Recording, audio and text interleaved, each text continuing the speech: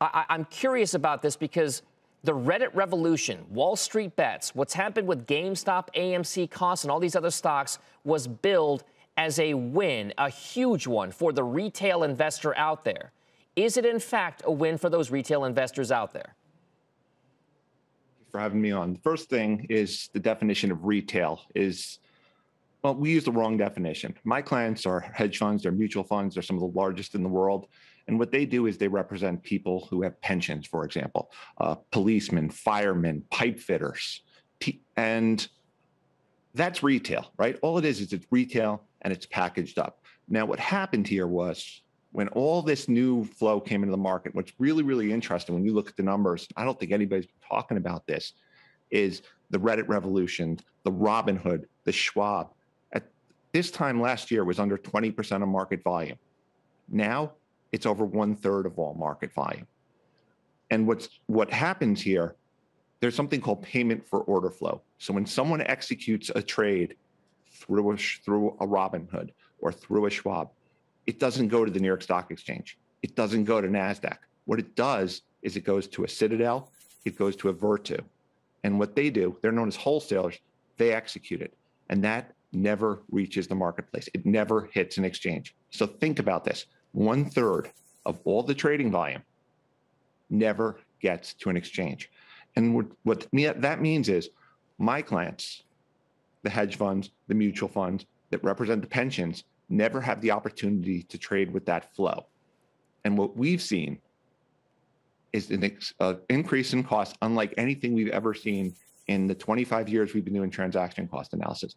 Costs in high retail names have tripled so, so, so, so Jeff, Jeff, Jeff. Sure. So, so, so let's boil this down. You're saying that what's been happening with the surge in retail trading volumes at places like yep. Robinhood, at places like Webull, at places like even Schwab or, or, or E-Trade or anywhere else, have now increased costs for investors who invest in mutual funds and other instruments like that.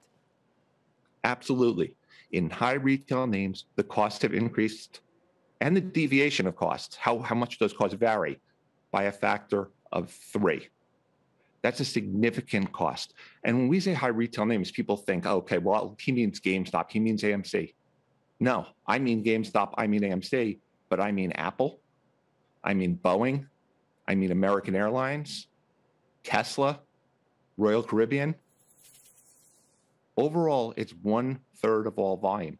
And, and why is that a problem? And, and, let me tell you why that's a problem. When a mutual fund decides to buy a stock, a lot of times the, the direction will come down and they'll say, be 20% of the volume. So a trader is going to go in, they're going to try to be 20% of the volume. But what if you don't have access to 40% of that volume because it's being executed by Citadel and Virtu? Well, then the trader has to be 33% of the remaining volume. And if you go back and you remember when you were an econ student in college, right? Less supply, same demand, higher prices. And that's why we found that the cost increased by a factor of three in those names. So, so Jeff, uh, w- with that in mind, if we, if, if your, if your data is coming through the way it is, and you're saying that costs for actually transacting things for mutual fund managers who are investing money on behalf of retail individual investors, perhaps hedge funds doing work for pension funds and, and, and that sort of thing, what exactly does, does that mean then for the future of the business? Should we just accept that, that, that trading costs will be higher down the line? Should something happen from the regulatory standpoint to kind of improve that trading execution for those people who are invested, not in day trading, but in things like mutual funds, index funds, and that sort of thing? I'm never a fan of regulatory solutions. Regulatory solutions take a long time to implement, and they usually have horrific side effects. I'm always a fan of taking an, of doing private solutions.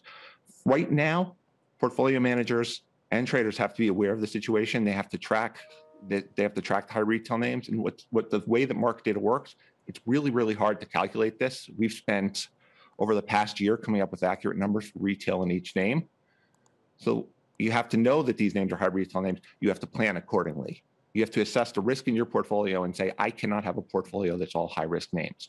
Longer term, there's going to have to be a commercial solution that comes along, perhaps something that sits between the Schwabs and the wholesalers that allows institutions to have fair access. Shepard Smith here. Thanks for watching CNBC on YouTube.